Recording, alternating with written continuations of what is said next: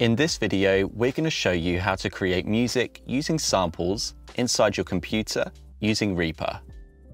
There are an infinite number of ways for you to be creative with samples, and this video will demonstrate just some of the techniques at your disposal.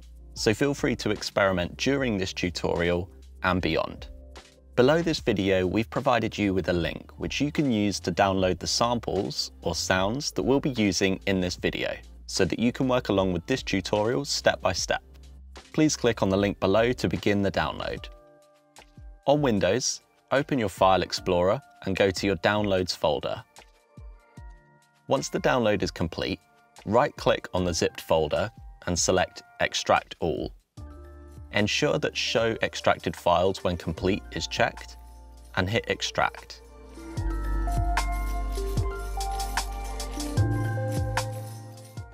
On a Mac, open your Finder and go to the Downloads folder. Once the download is complete, please double-click on the zipped folder to unzip it. We recommend moving this folder to your document so that you don't accidentally delete the samples if you clear out your Downloads folder. On Windows, I'm going to create a new folder and name it Samples and copy the Focusrite samples into that folder. That way, if you download samples in the future, you can just add them to this samples folder.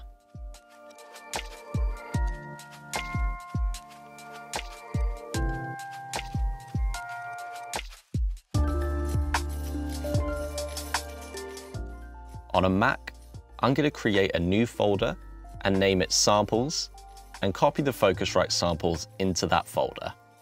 That way, if you download samples in the future, you can just add them to this samples folder.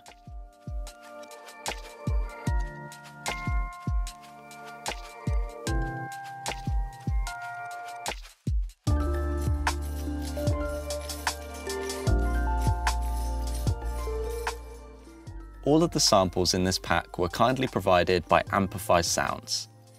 You can find out more about Amplify and their range of iOS applications at amplifymusic.com. There are two types of samples that you'll find in this folder, loops and one-shots. Loops are pieces of music like a drum beat or a melody, and you can use these loops as building blocks when creating your tracks.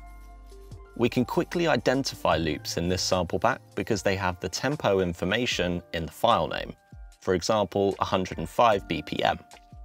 On a PC, double click on a loop, like this drum loop, to listen to it.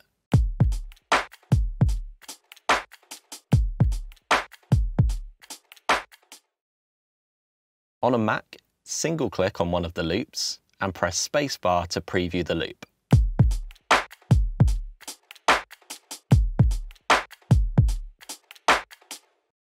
One-shots, on the other hand, are individual sounds, like a single drum hit or a single bass hit, which you can use to build up your own patterns. As mentioned earlier, you can identify the loops quickly because they have tempo information in the file name, for example 174 BPM. One-shots don't have this information.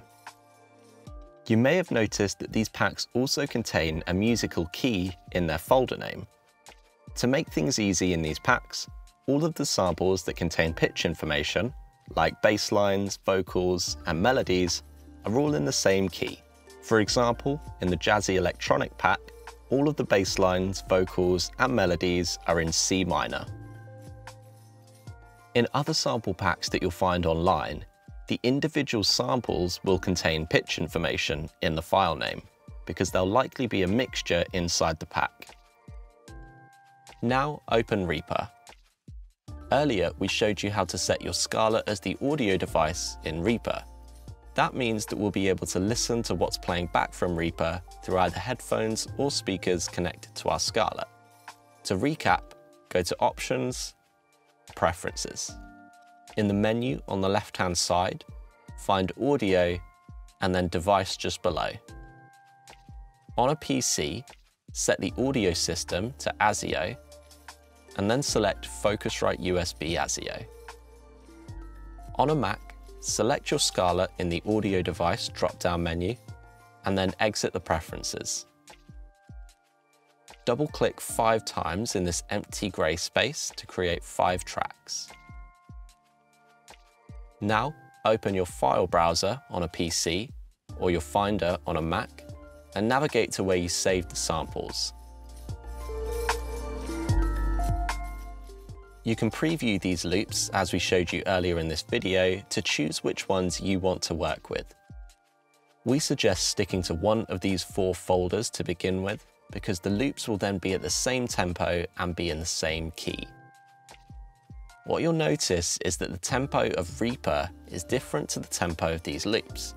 So look at the tempo of the loops that you've chosen before you drag any into Reaper, and click here to change the tempo of Reaper to match that of your loops. Type in the new tempo and then press enter. Now drag the loops in that you want to use.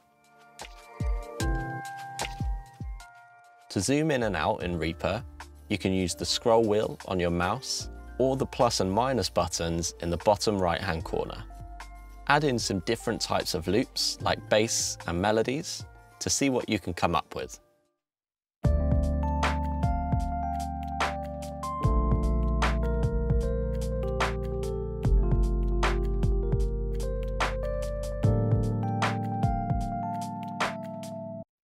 If you want to loop a certain section of your track, you can highlight it like so, and then press the loop function here. You're able to add effects to these loops like reverb and delay. Let's put a reverb on the melody.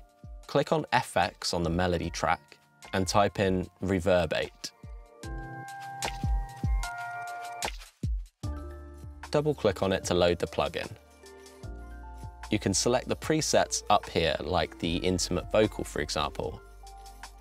And to be clear, you won't hear any reverb until you have selected one of these presets, so make sure you do so. Then the only control that you need to worry about in here is the wet fader. This allows you to control how much reverb is being applied to the melody. Minus infinity means that you're hearing no reverb, and bringing up the fader will apply more reverb to your melody. You can adjust this to your liking. You can then close this reverb plugin by clicking the cross in the corner. If you want to open the plugin again to make adjustments, then you can click on the FX button on the melody track. You can also experiment with adding more effects from these menus, like delay, EQ, and more by clicking Add, and then Clear Filter just here. You're also able to create your own drum and percussion patterns using the one-shots provided in the sample pack. Open your File Explorer on a PC or your Finder on a Mac and navigate to where you've saved the sample pack. Come to One-Shot Drum Samples and go to the Electronicy folder. As we mentioned earlier, one-shots are individual drum hits that you can use to build up patterns drag in some one-shots onto empty audio tracks. You may have a red line at the start and end of each of the files that you've dragged in. This is a fade-in. To remove it, hover over it until you see this icon, and then drag it off the clip.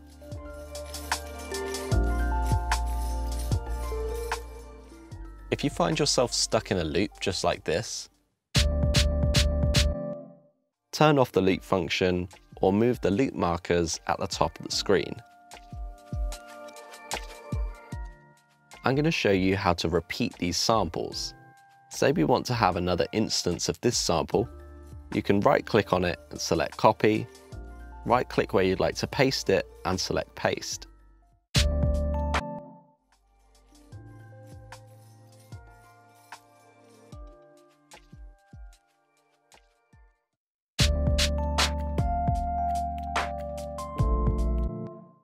Also, if you want to move items off the grid, you can turn off Snap by pressing this button, giving you more flexibility over where you place your samples.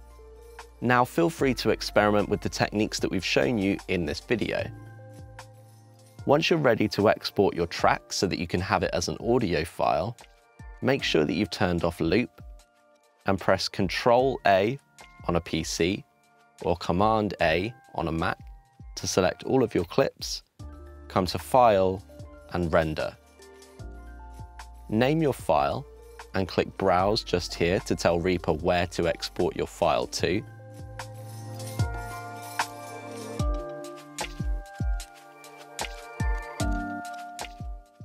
And you can leave these settings as they are unless you need to change them for any specific reason. Then select Render One File. You'll find the audio file wherever you chose to save it. You can now progress on from this video, and we'd love to know whether you're up and running with your new Scarlett. If you are, that's great, but if you still require some assistance, then we can direct you towards our support team.